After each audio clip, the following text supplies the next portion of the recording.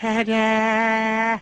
Guess what just showed up into my garage? I actually think I accidentally replaced one of my cars instead of moving it to storage, so that's probably a bad thing. Uh, I put a lot of money into it, but guess what got here though? My freaking Hakuchou!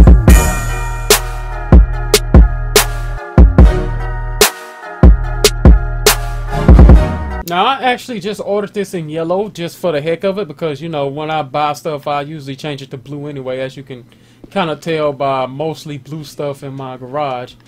But I think I'm going to just keep it yellow because, like I said, it's too much blue in here, man.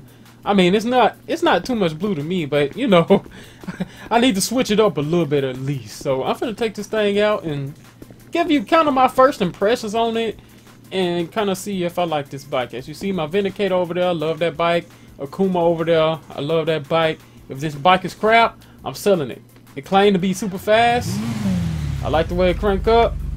But let's see if it's really ready for the streets. It's kind of struggling right now. I can I can hear it, but we're gonna fix that. We're gonna upgrade that engine.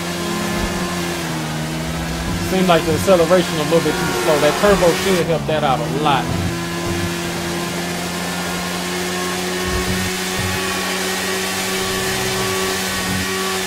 Now keep in mind that this thing is claiming that it can go over 150 now. Also, this bike, like the Vindicator, man, this bike doesn't have KERS. So that'll be a reason if you want to choose the Vindicator over this bike. This bike really does remind me of the Vindicator. Like the Vindicator, almost at 120. It would be an 18 wheeler right here. Ah! 120, it's, it's, it's struggling. It's claiming 150, but it's struggling, bro. That was the downhill part that got the Vindicator going. I think it's going pretty good though. On the flat, it's almost at 120. a little bit off. So we're gonna skip that. We did. We know the downhill part is where the Vindicator went on and pushed it on up there. But we ain't gonna. We ain't gonna be. We ain't gonna be too biased, bro. We finna get this engine suited up, and then we're gonna come back and see if we can get past 142. If we can get past 142 on that gauge right there, baby, this bike is faster than the Vindicator even with KERS. Now, the Vindicator got 142 out of max for me in my just my off-site test with KERS. So if it passed that without KERS, this bike is definitely something to be reckoned with. You heard.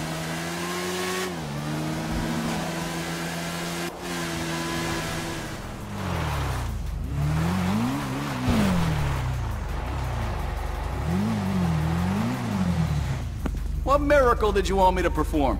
All right, all right, all right.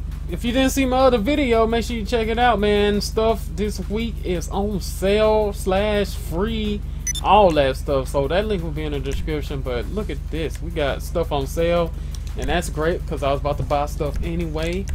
Stuff you buy anyway, why not get it on sale? You feel me? Alright, after leaving uh, Pay 'n' Spray, I realized that the color order is actually orange, y'all. Thought it was yellow, my bad, my mistake. But uh, all I did really was change the secondary color to black. You know, change to the wheels I like, which is Trident. And change these to like an oranges, yellow, whatever you want to call it. And this bike is how I like it, you know what I'm saying? So, not much upgrading, not much to do to it. But now we're about to see if it can run. Everything's maxed out now. We're about to see what it really can do. Let's go ahead and look at it right now.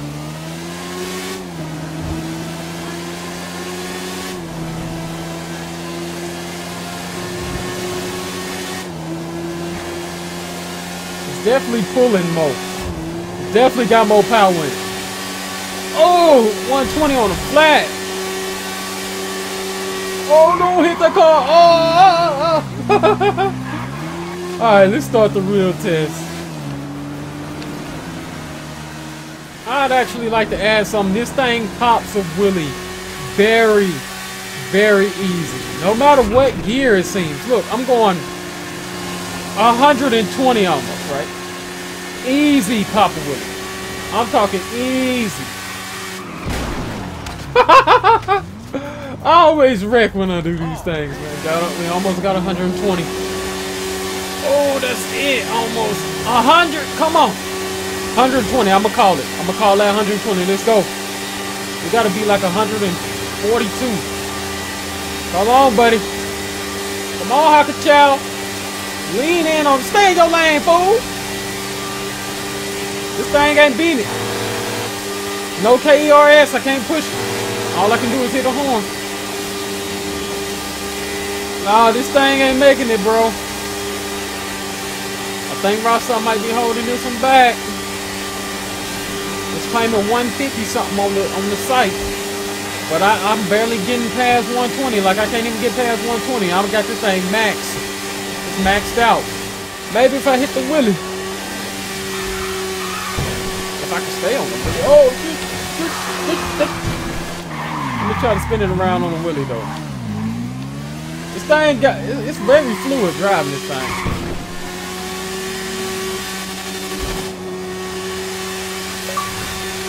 Ah! Woo! So it look like it's a wheelie bike. Cause they do get on that wheelie easy too. Here we go. What? What just happened? Oh yeah. Look like it's a walking bike though. Only way you're gonna get past it is walking that mother. So that brings me to one last test before I sign off. And that test is walking it.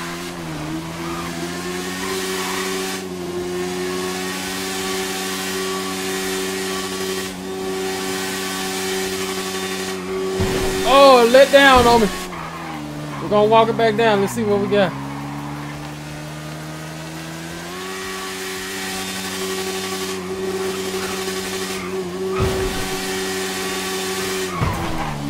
Alright. So, so far, I'm convinced that, uh, it's not gonna beat that 142. And that's because I walked it down the highway before this test for a good bit, and it did the same exact thing. Even though it's crashing on me now, it did the exact same thing on the highway, but I'm gonna go ahead and do it in this way. That's why I get them gears straight. And then we're gonna see.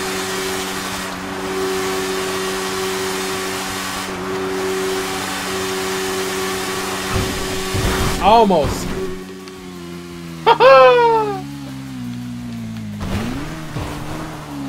So we is getting a little more speed, but I mean, if it take that much, you know, it take that long to get there, the the Vindicator have been there hit KR, KERS and left you in the dust, man. I'm sorry, it, it would have. It all depends on acceleration. Now, this bike do feel like it can turn and stuff better. And it handles off-road, it seem like better. So it all gonna depend on the driver, man. These bikes look like with the right driver, they'll be head to head, man. Head to head. It's been Real Lag Gamer, man. I hope this test helped y'all out, help y'all decide what y'all wanted. Please leave a like on this video if you enjoyed it. Check out some of my other videos. Subscribe if you haven't already. And I'll see y'all in the next one. Thanks for watching. Real Lag Gamers, out.